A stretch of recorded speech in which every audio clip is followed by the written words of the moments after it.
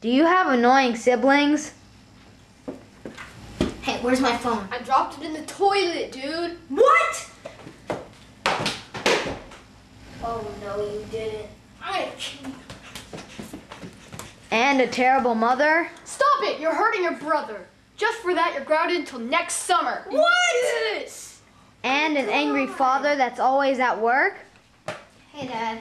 Shut up, son. I had a bad day at work today, and I need some coffee. Go, to, camp, life.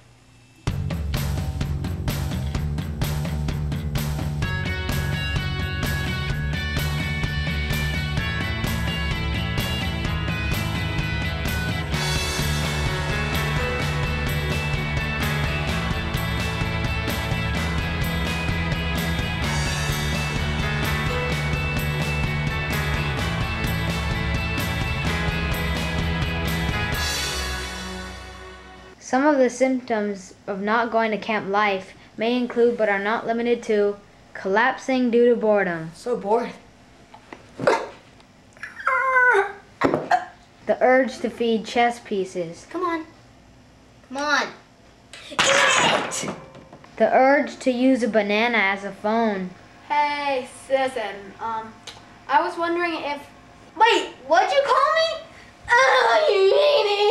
The urge to horribly dance, Dad, Dad, Dad, My leg!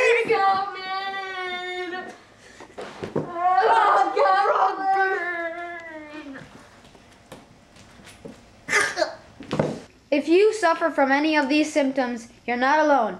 Please contact your religious leader and see if camp life is right for you.